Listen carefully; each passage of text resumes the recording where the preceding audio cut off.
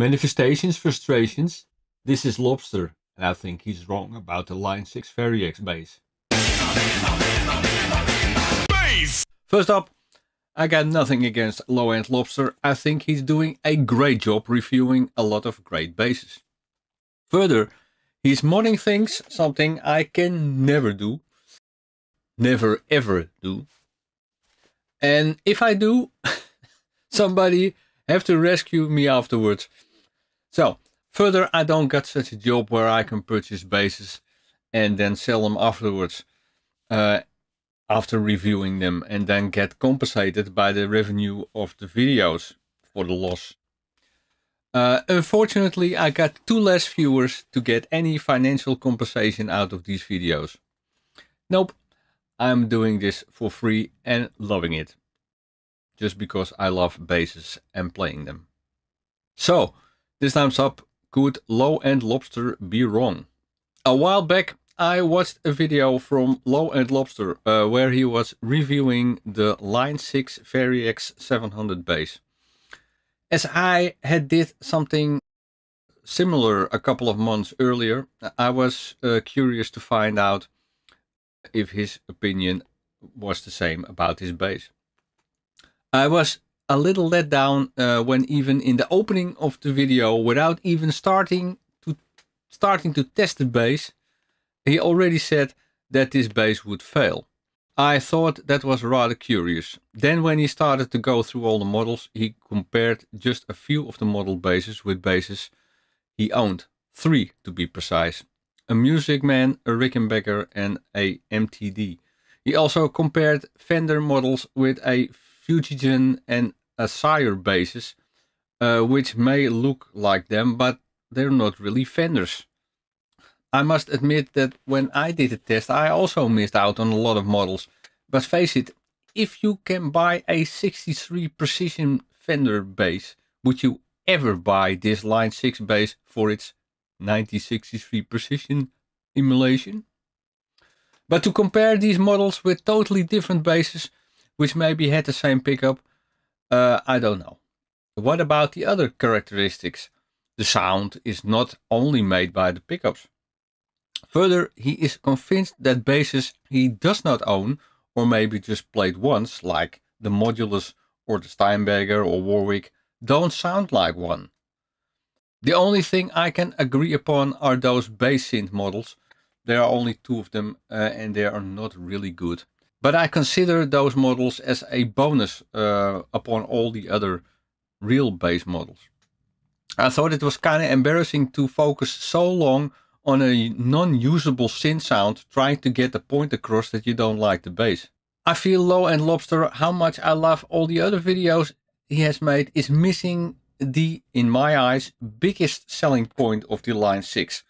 The fact that you can try to emulate an old vintage bass that's financially way out of your reach, which you can then use in your recordings, and I think that's a, a huge plus. Again, I told it already, this bass is here to be heard and not to be seen. It's not a visual stunning bass. The stunning part comes when you plug it in. Uh, and when you need the sound of a Rickenbacker or a Hofner or whatever, there's more inside this bass. And you are there. One way or the other, this bass is unfortunately out of production. I feel that this has something to do with the policy of Line 6 back then and not the quality of the product. It's the first and only bass which can do things it says on the tin. Like reproducing the sound of old or newer basses or at least trying to get there. In the past I did a couple of videos where I compared this bass to a couple of modeled ones. I urge you to check those out and then watch the low end lobster video again. He will be grateful for that. And tell me if he's biased or not. By the way, he demonstrated a 1978 Alembic and that sounded really weird. Uh, and that I think it's because um, he has to upgrade his firmware in the bass. Because the Alembic in my bass sounds like this.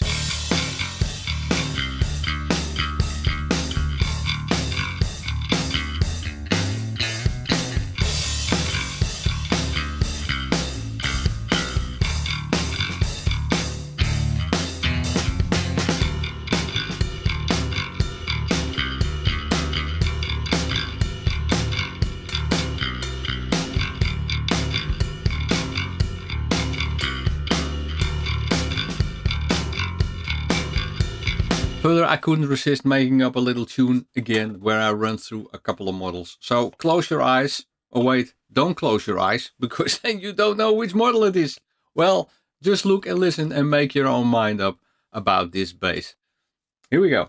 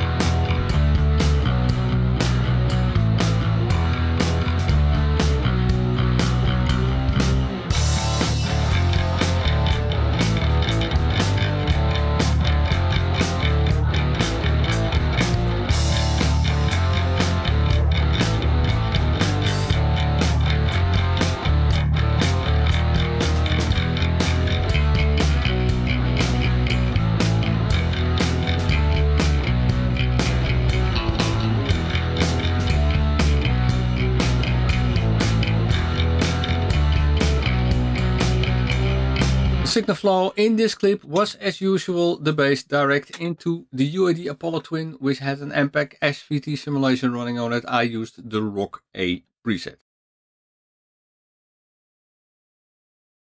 And there you have it. Leave some comments if you feel I may be right or not. And that's it for this episode. I hope you liked it. And if you do like this kind of content, please like and subscribe and like the video.